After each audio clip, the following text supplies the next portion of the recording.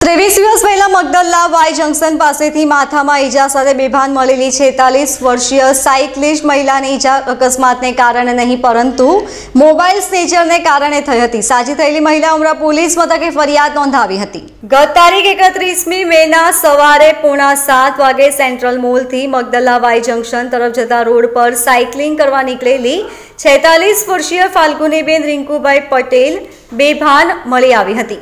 રાહદારીઓએ મહિલાને પીપલોદની sunshine global હોસ્પિટલમાં દાખલ કરાવી હતી. સંપૂર્ણ સાજી થયેલી આ મહિલાએ ઉમરા પોલીસે જણાવ્યું હતું કે તે સાયકલ ઉપર પસાર થઈ રહી હતી ત્યારે પાછળથી પલ્સર બાઇક ઉપર ડબલ સવારી ગઠિયાવક ધસી આવ્યા હતા. સાયકલના સ્ટીયરિંગ ઉપરથી મોબાઈલ આંચકવા માટે ઝટકો મારતા તે નીચે પડી ગઈ હતી, જેમાં માથામાં ઈજા થઈ હતી. કલાકો બાદ ભાનમાં આવી હતી જો કે માથામાં સાત ટાંકા પણ આવ્યા હતા. Bureau report LK star news Surat.